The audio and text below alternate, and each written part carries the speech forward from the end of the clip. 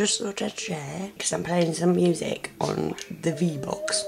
I went through and there came up Manic Street Preachers, Designed for Life, which basically I dreamt about in the week. I would have said back in the day that I hated them, but uh, like it's never been that strong. But I don't like Manic Street Preachers, and I especially don't like Design for Life because I, I've never known what the words were.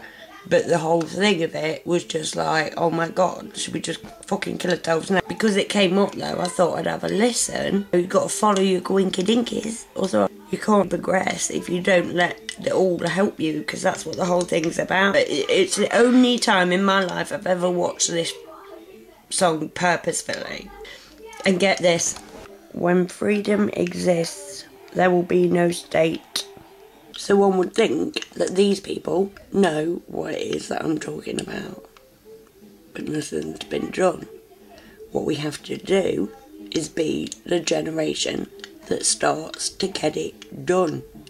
Lots of people, lots of visionaries in the past have seen this.